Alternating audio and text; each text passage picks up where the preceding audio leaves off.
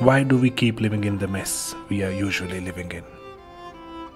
What binds us to the land, to the place, to the office, to the family, to the people around us, even though it all seems to be making no or very little sense in our lives? Why do we keep believing we could coexist with all this? There do come moments when we just don't want to, where we just can't take it anymore.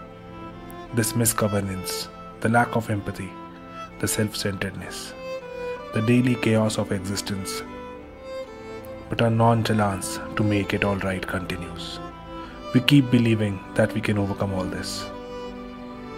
We often do, not overcome the chaos that surrounds us but the noise of the thought that there could be a life more sorted than this.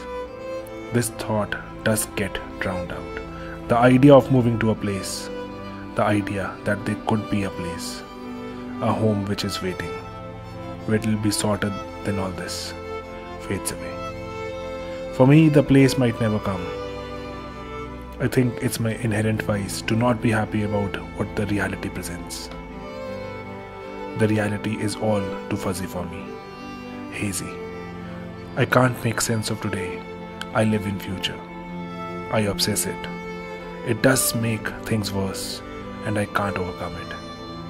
I keep longing for that place that awaits. The time where I'll take that call and once for all make things fine. A call where there will be no more future, only a past to ponder about.